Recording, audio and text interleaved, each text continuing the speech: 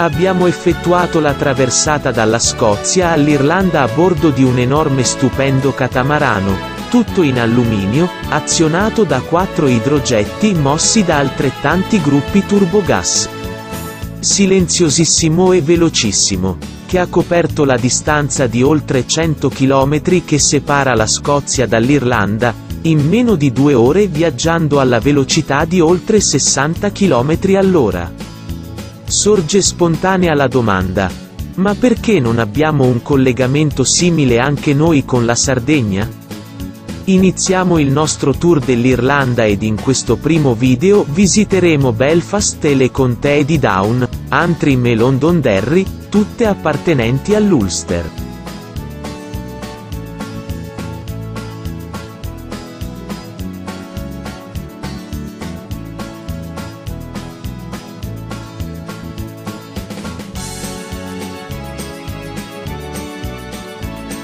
Il Carrickfergus Castle è uno dei più antichi e grandi castelli irlandesi, situato sulla spiaggia dell'omonimo villaggio, per il resto pressoché insignificante. Costruito intorno al 1180 dagli invasori inglesi su un promontorio roccioso affacciato sul porto, per controllare l'accesso al golfo di Belfast. La fortezza è stata presidiata ininterrottamente per circa 750 anni, fino al 1928, quando la sua proprietà è stata trasferita dalla British Army al nuovo governo del Nord Irlanda. Oggi il castello è stato restaurato ed è possibile visitarlo. Ospita spesso delle mostre che ripercorrono la vita nel Medioevo.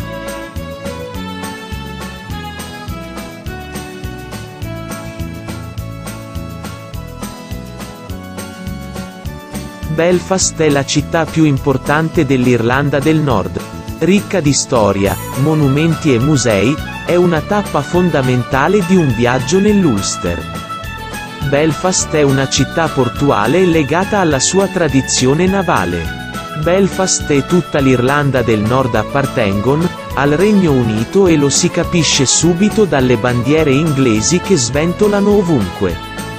Essendo una città dalle dimensioni contenute, è perfetta per un weekend dedicato non solo alle attrazioni da visitare, ma soprattutto all'atmosfera da vivere e da gustare.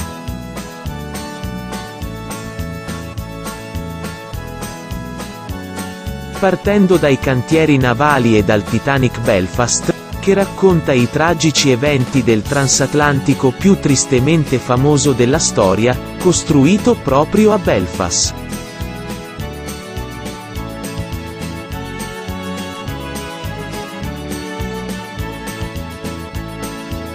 Merita visitare il Belfast City Hall, il municipio risalente all'epoca della rivoluzione industriale.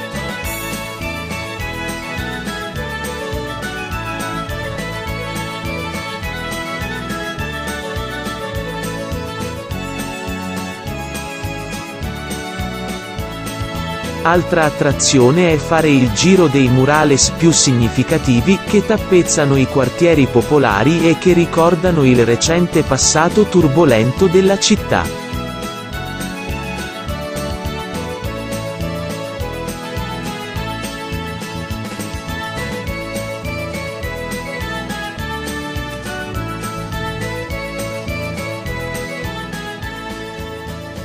La Grey Abbey sono i resti di una abbazia cistercense, fondata nel XII secolo dalla moglie del lord della contea di Belfast presso l'omonimo villaggio, Grey Abbey.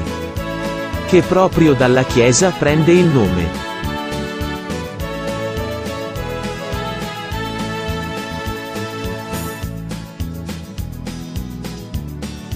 Immersa in un quadro idilliaco tra corsi d'acqua e verdi prati, la chiesa e il convento sono imponenti.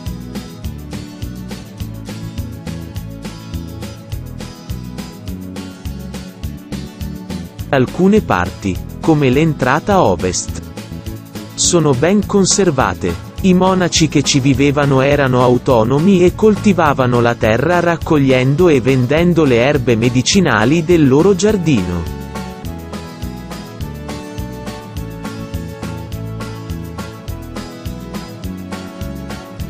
La baia turchese di Fered vi abbaglia per i colori contrastanti del verde luccicante con il blu profondo. I campi improvvisamente lasciano il posto alle aspre cime delle scogliere. La costa della contea di Antrim è ricchissima di tanti luoghi indimenticabili. Una delle passeggiate più suggestive è quella che dalla Mulaf Bay porta a Fered, le scogliere. Dai loro 200 metri di altezza, consentono di spaziare la vista sempre più lontano fino ad arrivare alle coste della Scozia. Queste terre sferzate dal vento furono fino al 1600 contese proprio da un clan scozzese, i MacDonnell. Un panorama che non potrà lasciare indifferenti. Soprattutto in quelle giornate terse e ventose che rendono colori, luci e profumi indimenticabili. La passeggiata dura circa 45 minuti e richiede scarponi e vestiti impermeabili per far fronte ad acquazzoni improvvisi.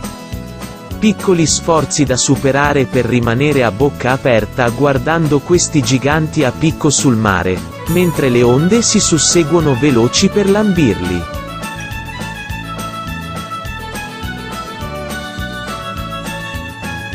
Murlaf Bay è considerata una delle baie più belle lungo la costa di Antrim, eppure non è molto frequentata dai turisti. Il motivo è ovvio.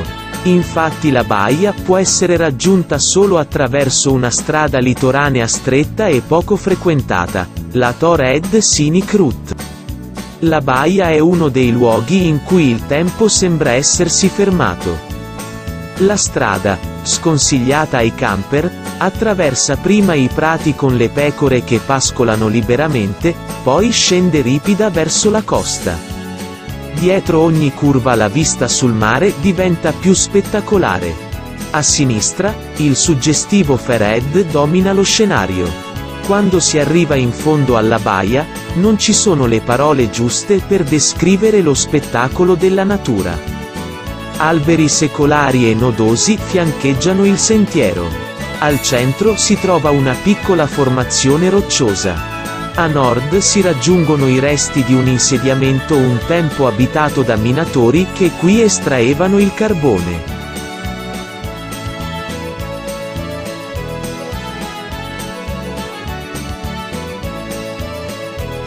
Tored è un famoso promontorio frastagliato, che sporge dalla costa settentrionale dell'Irlanda. Un altro luogo unico e meraviglioso. Tored non offre negozi o strutture. Ciò che si può trovare sono solo mandrie al pascolo e antichi cumuli di pietra. Capo Tor, nelle giornate limpide, permette di avere delle prospettive uniche si arriva a vedere in maniera nitida e inconfondibile persino la Scozia. Soltanto circa 20 km separano le due nazioni. Si arriva a questo promontorio percorrendo la Torred Scenic Route. Probabilmente la più bella o una delle più belle strade d'Irlanda. Stretta si estende lungo la costa ondulata della contea di Antrim, regalando un'avventura che consigliamo di non perdere. La Scenic Route si imbocca a pochi chilometri a est di Ballycastle. Non adatta alle roulotte e nemmeno a chi è troppo ansioso o soffre di cuore.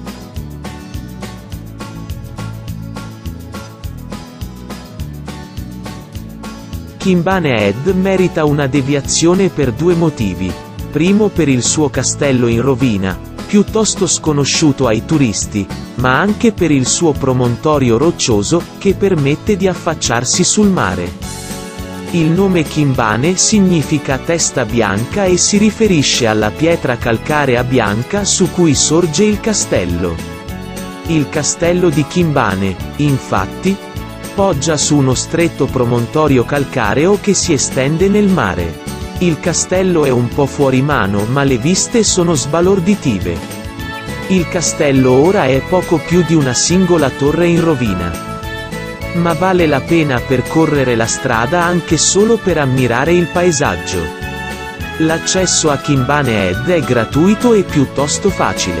Tuttavia, non esitate a coprirvi bene. Il posto è ventoso e umido qualunque sia il periodo. Il sentiero segnalato conduce alle rovine del castello di Kimbane, e quindi al promontorio. Il sentiero si restringe man mano che si procede. E non è proprio del tutto sicuro. Alla fine però si gode di una splendida vista sull'oceano e sugli scogli, costantemente spazzati dalle onde.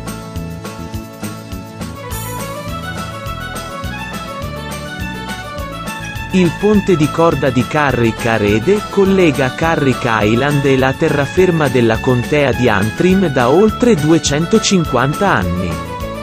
Ondeggiare a 30 metri di altezza sull'oceano potrebbe non sembrare il modo più rilassante per affrontare questo percorso di 20 metri, ma le cose sono cambiate. Affrontare Carrick a Rede potrebbe sembrare un'impresa coraggiosa.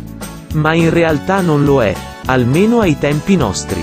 Negli anni 70, questo attraversamento prevedeva solo un corrimano e qualche asse in legno distante l'una dall'altra.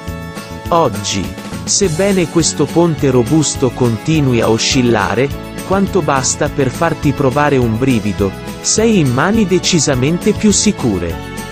È ovvio chiedere, perché esiste questo ponte? L'epoca dei pescatori sull'isola è finita nel 2002. Negli ultimi anni, il ponte è diventato uno dei luoghi di maggiore attrazione della Causeway Coastal Route, che collega Belfast a Londonderry. Nei weekend estivi occorre fare code enormi per attendere il proprio turno e attraversare il ponte, il cui flusso è rigorosamente controllato, massimo 5 persone alla volta.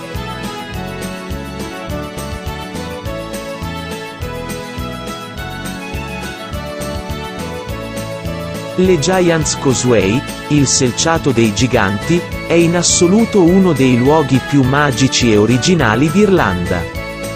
40.000 antichissime colonne di basalto esagonali che emergono dal mare in stranissime composizioni, sulla costa battuta dal vento e dalle onde. Questa incredibile formazione rocciosa è talmente suggestiva e preziosa dal punto di vista naturalistico da essere dichiarata patrimonio dell'UNESCO dal 1986.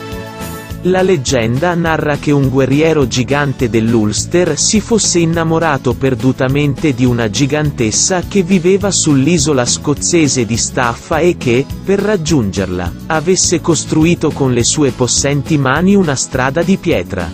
In realtà queste pietre così uniche sono il risultato di un'esplosione sotterranea risalente a 60 milioni di anni fa che si estese dalla Causeway fino all'isola di Staffa. Un'immensa massa di basalto che in superficie raffreddandosi si solidificò in forme così regolari. La visita di questo splendido sito naturalistico è abbastanza lunga. Soprattutto se decidete di intraprendere il percorso circolare, calcolare dalle 2 alle 3 ore. Consiglio di percorrere il sentiero alto che segue il profilo delle scogliere e che ridiscende al mare grazie a una ripida scalinata di 162 gradini da cui si gode una vista spettacolare sul panorama sottostante. Il cammino prosegue nella parte bassa e qui si può ammirare, il Giant's Organ, un insieme di colonne di basalto alte ben 12 metri. La famosa distesa di blocchi esagonali è chiamata anche l'alveare. La visita di questa meraviglia naturalistica è libera, quindi occorre prestare attenzione alla sicurezza durante il percorso. Il vento è quasi sempre molto forte e intenso. Questo provoca un ulteriore rischio perché fa cambiare rapidamente le condizioni atmosferiche.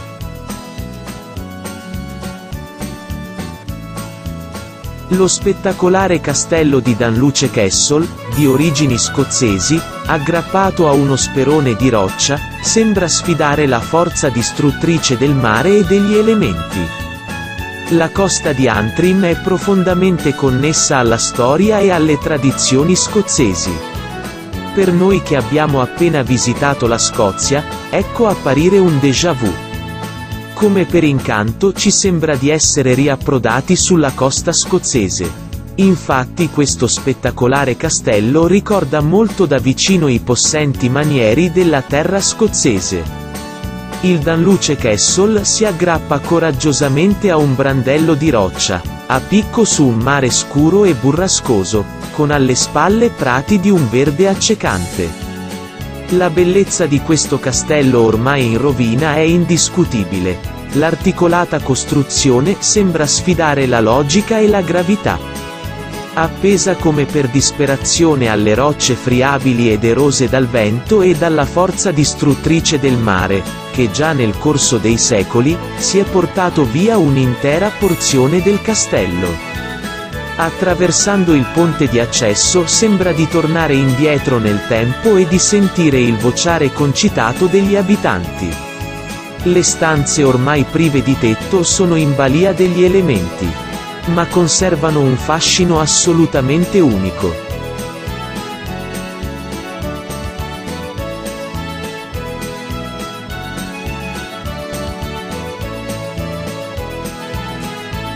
Portrash è una piccola località balneare al confine con la città di Londonderry. La parte principale di Portrash si trova concentrata lungo l'area del porto. Affollata proprio per la sua vita notturna durante l'alta stagione, dai numerosi turisti. A rendere prestigiosa Portrash sono i campi da golf e le spiagge sabbiose. Ce ne sono due in particolare note come Occidente e Oriente. La White Rocks e la Curran Strand caratterizzano la costa che prosegue fino al Danluce Castle e alle Giants Causeway. Portrash è una cittadina turistica che accoglie un alto numero di persone, sia durante il periodo estivo per la stagione balneare, sia durante l'inverno per trascorrere la serata in discoteca.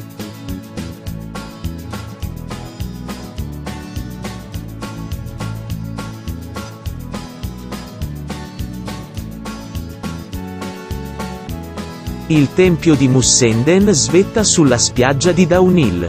È un posto incantevole, spesso scelto per unirsi in matrimonio da turisti e locali. La costa è davvero suggestiva. Con spiagge e scogliere che regalano un'atmosfera magica. Si tratta di un piccolo monumento a pianta circolare. Quello che contraddistingue questo posto è la sua collocazione. Si trova nella zona nord-occidentale della regione, dove la costa è formata da scogliere di basalto a picco sull'Oceano Atlantico. Il tempio di Mussenden è aperto al pubblico e visitabile tutto l'anno gratuitamente.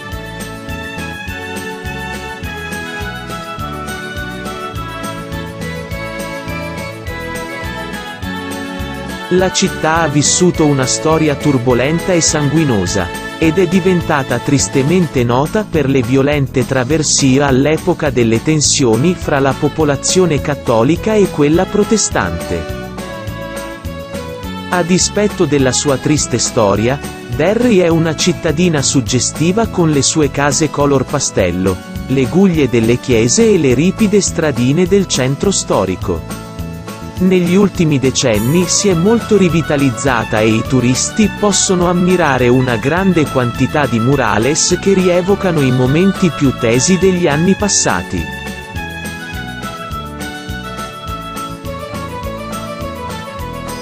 Londonderry è stata la nostra ultima tappa nell'Ulster. Attraverseremo il vicino confine con la Repubblica Irlandese, confine quasi invalicabile qualche decennio fa per le tensioni tra i due stati. I paesaggi e le coste della Repubblica Irlandese saranno oggetto dei prossimi video.